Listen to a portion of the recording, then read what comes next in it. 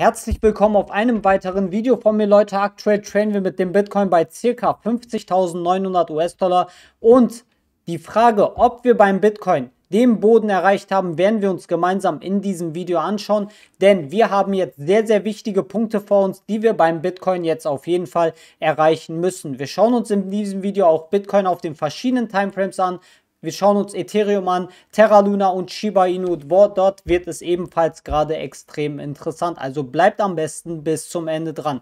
Wir starten direkt mit dem Bitcoin auf dem vierstündigen Chart. Und hier haben wir gerade eine sehr, sehr spannende Entwicklung. Wir haben hier einen Ascending Channel. Das heißt, wir haben hier einen Aufwärtstrendkanal, den wir momentan noch auf dem vierstündigen Chart sehr gut halten. Wir haben hier einmal unsere obere Widerstandslinie, wo wir hier jetzt immer wieder rejected wurden, haben dann heute nochmal eine Rejection gesehen, konnten allerdings den Support hier super halten an dieser Stelle und traden hier momentan bei circa 50.700 US-Dollar. Wichtig jetzt für den Bitcoin wird es, dass wir es dann schaffen müssen, diese Zone hier zwischen 52 und 53.000 US-Dollar hinter uns zu lassen. Denn wir wurden hier nochmal exakt hier an dieser Zone rejected.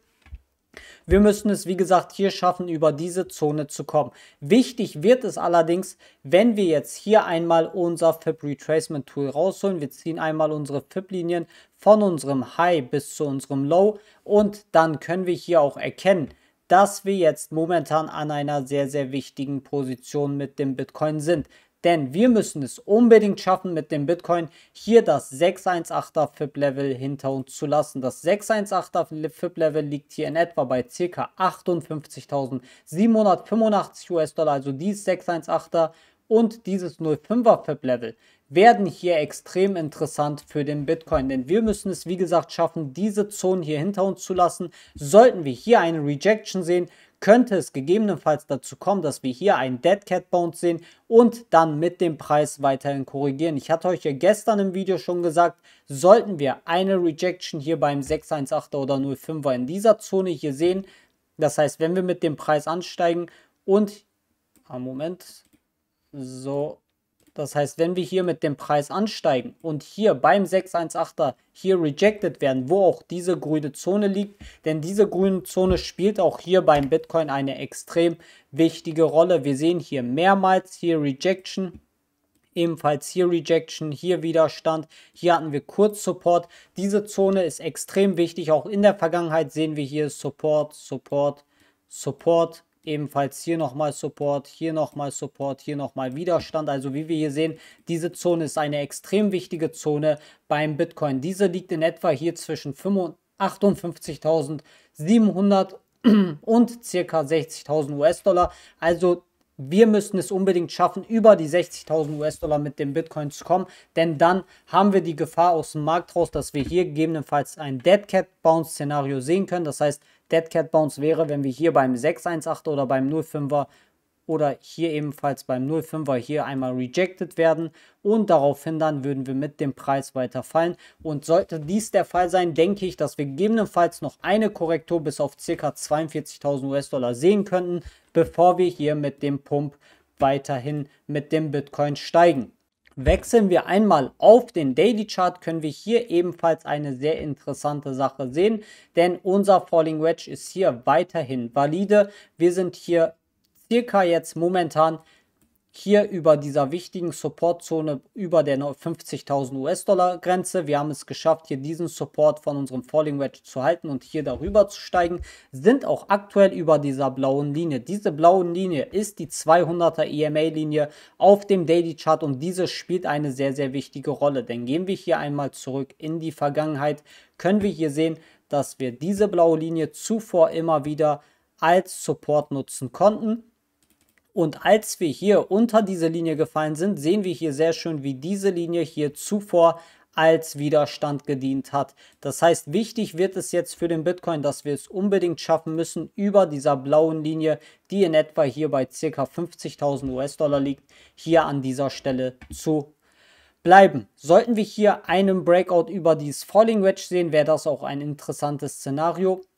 Hier bei einem Breakout würde ich allerdings hier diese Zone von 58.000 US-Dollar als erste Zone, als erstes Preisziel nehmen, sollten wir hier einen Breakout sehen, denn dort haben wir, wie schon hier vorne besprochen, unser 618er FIP-Level, welches hier ein gefährlicher Widerstand sein könnte. Sollten wir allerdings sonst hier einen Breakout sehen und das 618er hinter uns lassen, wäre unser Preisziel hier in etwa bei ca. 68.800 US-Dollar bei unserem Falling Wedge hier auf dem Daily Chart. Wichtig wird es, sobald wir hier einen Breakout sehen, denke ich, dass wir hier auch ein bullisches Crossover von unserem MACD sehen und auch mit dem RSI hier es schaffen, über diese 50er Linie zu steigen, dann denke ich, dass wir hier auch auf dem Daily Chart wieder bullish sind. Wechseln wir einmal auf den Weekly Chart, haben wir hier auch eine spannende Entwicklung beim Bitcoin, denn wir haben hier unsere vorherige Widerstandslinie, die wir momentan retestet haben und es sieht nach einem erfolgreichen Retest aus.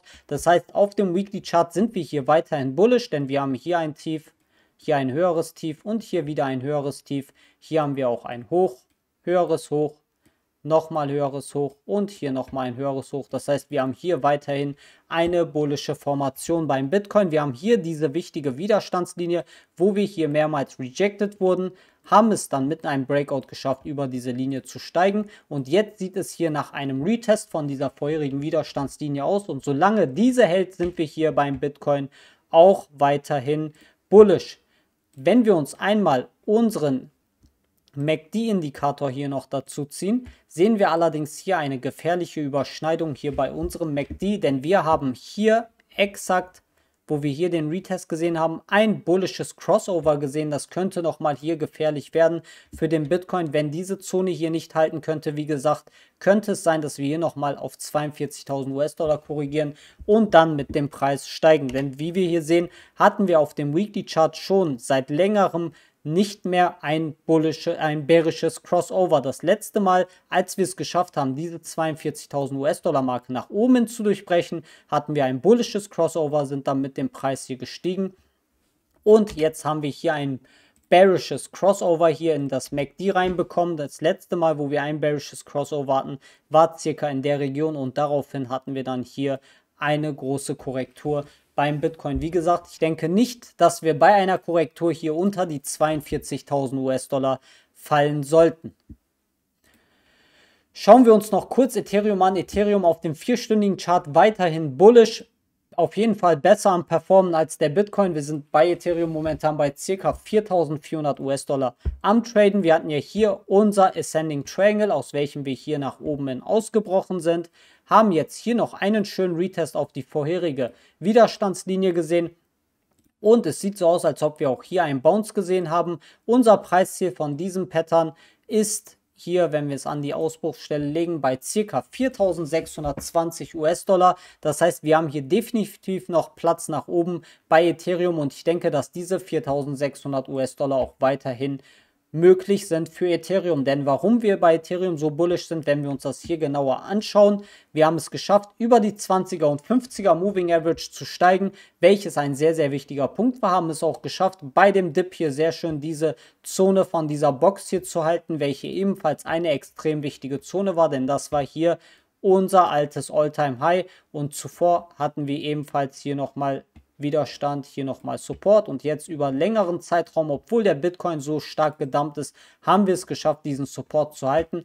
Das zeigt für mich, dass wir bei Ethereum hier auf jeden Fall den Boden erreicht haben, denn wir haben es geschafft, hier wieder über die 20er und 50er Moving Average zu steigen und sind hier bei Ethereum auch wieder bullish eingestellt.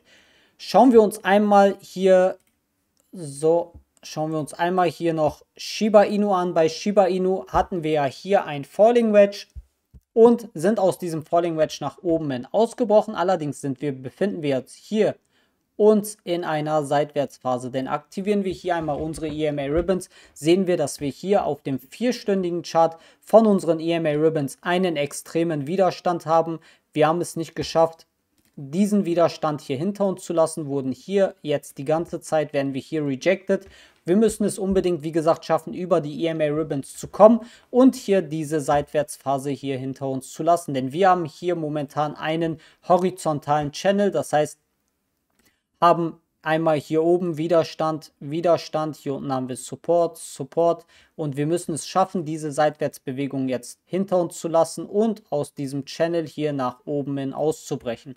Sollte dies der Fall sein, ist unser nächstes Preisziel hier bei ca. 4439. Dafür müssten wir aber hier definitiv unsere EMA Ribbons auch hinter uns lassen und diese nach oben hin durchbrechen. Dann denke ich, dass wir hier das erste Preisziel erreichen können und sollten wir es schaffen, dieses erste Preisziel hier zu erreichen und gegebenenfalls einen erfolgreichen Retest hier sehen, dann denke ich, dass wir hier bei 5379 unser zweites Preisziel haben, welches definitiv bei Shiba Inu auch machbar ist. Bei Luna wird es ebenfalls gerade sehr, sehr interessant. Sie sind ja hier aus unserem Aufwärtstrend-Channel nach oben hin ausgebrochen und haben hier jetzt ein interessantes Pattern, welches wir hier formen. Denn wir haben ja hier ein Ascending, äh, ein Symmetrical Triangle, welches wir im Video gemeinsam das letzte Mal besprochen haben. Diesmal auf dem vierstündigen Chart haben wir auch ebenfalls ein Symmetrical Triangle und wir haben hier ein interessantes Preisziel. Dann messen wir hier einmal das Preisziel von diesem Pattern legen es hier an die mögliche Ausbruchstelle, sehen wir, das Preisziel befindet sich in etwa bei 91,85 Dollar, welches ein Preisziel ist, das für Luna definitiv machbar ist. Interessant ist es auch, dass wir in diesem Symmetrical Triangle einen doppelten Boden formen. Das heißt, wir haben hier ein W-Pattern so gesehen oder ein Double Bottom und haben gleichzeitig auch an der oberen Linie, wo wir jetzt hier den Widerstand vom Symmetrical Triangle haben, unsere Neckline von unserem Double Bottom.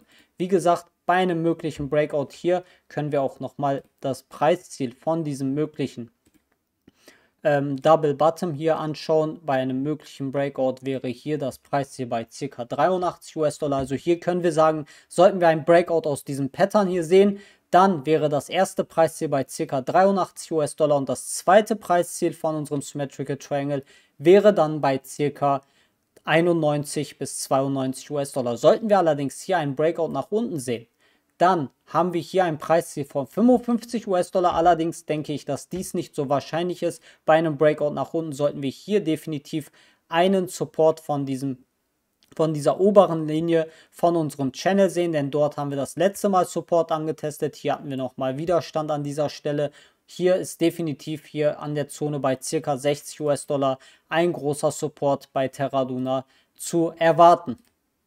So, das war's mit dem heutigen Video. Ich hoffe, es hat euch gefallen. Wenn euch dieses Video gefallen hat, dann lasst mir doch ein Like da, abonniert den Channel, aktiviert die Glocke, um die neuesten Updates nicht zu verpassen und immer auf dem Laufenden zu bleiben. Ich wünsche euch allen noch einen schönen Abend, bleibt alle gesund und bis morgen.